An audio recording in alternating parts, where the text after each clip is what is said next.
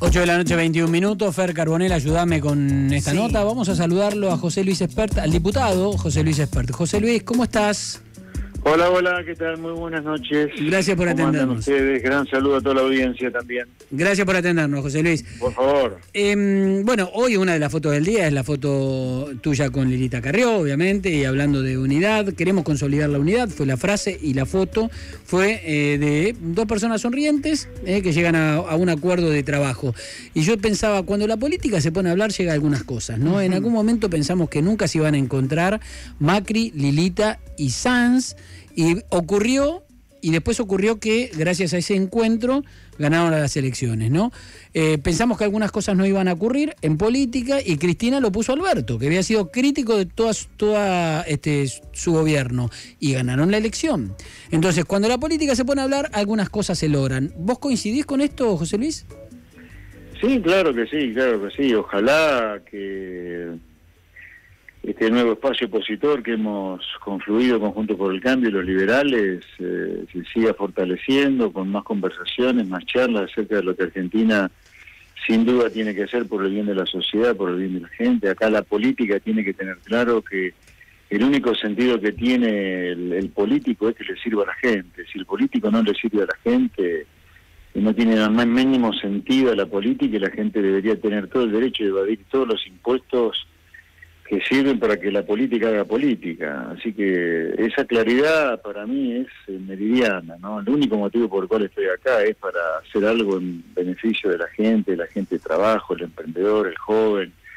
Hay que hacer un montón de cosas, por lo tanto hay que generar un enorme poder político, convencer a mucho, mucho, mucha política para, la, para las cosas que hay que hacer y luego que la gente vote esas cosas, ¿no? Porque en democracia, ya que estamos a punto de cumplir 40 años de democracia, gracias a Dios, y a todo el esfuerzo de muchísimos argentinos, algunos dejaron la vida por la democracia, eh, tenemos que mm, rendirle culto a la Constitución, rendirle culto al Estado de Derecho, pero también usar a todo eso para, para que la gente la pase bien. Hay que sancionar urgente una ley de alquileres, hay que sancionar urgente una reforma laboral para que haya menos trabajo en negro y trabajadores con más derechos, hay que reducir drásticamente el tamaño del Estado y que se deje de currar tanto con el Estado para que el Estado esté al servicio de la gente, le pague bien a sus enfermeros, maestros, médicos, policía.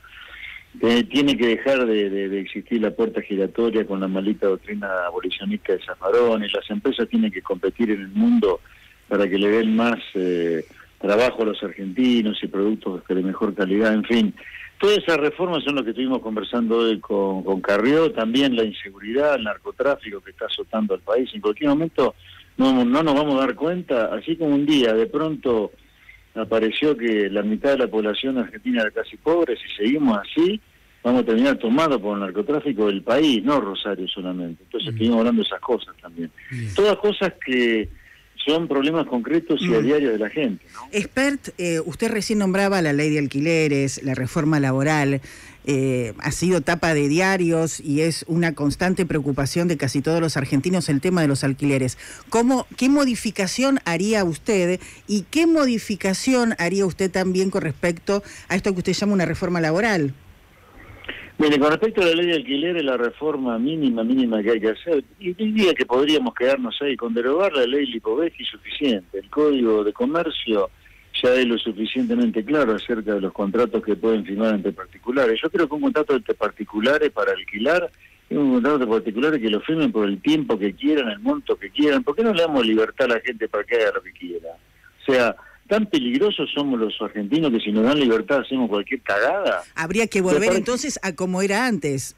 Claro, claro. Y con respecto a la reforma laboral, mire, le puedo dar por lo menos seis títulos de que tiene que tener la reforma laboral. Uno, uno, es que hay que terminar con el unicato sindical. ¿Qué es esto de que el único sindicato que funciona realmente como sindicato es el más grande?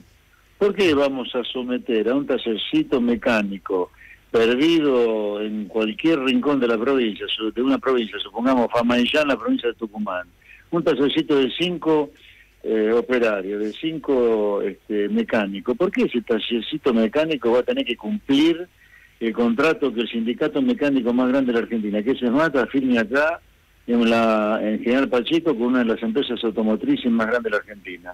¿Usted cree que un tallercito mecánico de cinco personas puede cumplir el convenio colectivo firmado por el acá? Pero de ninguna manera, por lo tanto, lo, la negociación colectiva tiene que ser completamente descentralizada. Nadie mejor que un empresario con su delegado gremial va a poder discutir mejores condiciones de trabajo para sus trabajadores que un delegado gremial de la empresa. Segunda reforma, tiene que haber democracia sindical, ya que estamos festejando 40 años de democracia, ¿cómo no va a haber 40, eh, democracia sindical? Todavía sigue siendo este, verdad que hay un solo sindicato, no puede ser eso. Mm, otra. Sí, no, no, dale, dale, a ver, dale, decime otra. No, no, hay más, hay más. Pero no, ya sé, yo siempre, mira, yo te, te, he escuchado hablar mucho, antes de que entras en la política, eh, y la verdad que mantuviste la coherencia, digamos, en la política seguiste diciendo lo mismo, seguís diciendo lo mismo. Yo me acuerdo siempre que vos explicabas que la única demostración del fracaso de la lucha sindical, si se quiere, es la cantidad de empleados en negro. Porque sin, si, digamos, si hubiese sido dado frutos toda la ley laboral tal cual está planteada y la lucha sindical, no hubiese tantos empleados en negro. Pero por supuesto, a mí cuando cuando yo veo la CGT, bueno, que el otro día me maldijo ahí en un comunicado, pero bueno, me tiene sin cuidado. Cuando veo la CGT que no quiere reformar las leyes laborales, ponele, yo la, aplaudiría a la CGT y estaría de acuerdo con la CGT si no hubiera ningún problema o casi ningún problema con los trabajadores en Argentina, pero acá no es que hay un problema con los trabajadores argentinos, hay un drama con el trabajador argentino. Tenemos 8 millones de trabajadores, la mitad de la población eh, trabajadora de Argentina trabajando en negro. Un trabajador en negro tiene unos salarios miserables, tan miserables que son casi todos pobres. O sea, 8 millones de trabajadores en la informalidad son pobres. Además, esos trabajadores, de ser pobres, no tienen derecho a vacaciones, aguinaldo, medicina, no tienen derecho a la jubilación. Es un desastre tener la mitad de la población trabajadora en negro. Y en parte, en parte, yo no voy a ser este, minimalista en estas cosas, en parte, pero fundamentalmente, las leyes laborales de Argentina son las que explican ese genocidio laboral que es la Argentina de hoy. Entonces no entiendo cómo puede vos ser, si dirigente sindical, no querer una reforma laboral y no ponerte colorado al mismo tiempo. A mí me daría vergüenza. No, bueno, por eso. Dirigente sindical y decir este, que defiende a los trabajadores. Mira, en Argentina, si yo soy un dirigente sindical que no quiere reformar las leyes laborales, eso es un verdadero hijo de mil este, con los trabajadores, porque los trabajadores le pasan re mal hoy en Argentina. Sí, no habría tantos trabajadores en negro. Eh, la pregunta es, ¿está todo bárbaro? Hay que hacer todo eso, pongamos. Ahora, ¿van a poder hacerlo? Porque la verdad que todo tiene que pasar por el Parlamento, como corresponde. Mira, por eso yo me he dedicado en los últimos tres meses por lo menos a tejer, tejer, tejer y tejer hasta que alumbró este, este, este, nuevo, este nuevo espacio político, diría yo, que incorpora a los liberales de manera institucional y se y se, y, confluye conjuntos por el cambio. Porque la idea es juntar una masa crítica gigantesca de legisladores, diputados, senadores, con legisladores en la provincia, concejales, que hablen de estas cosas para convencer no solo a la política, sino a la gente también y a los trabajadores de la virtud de una reforma laboral.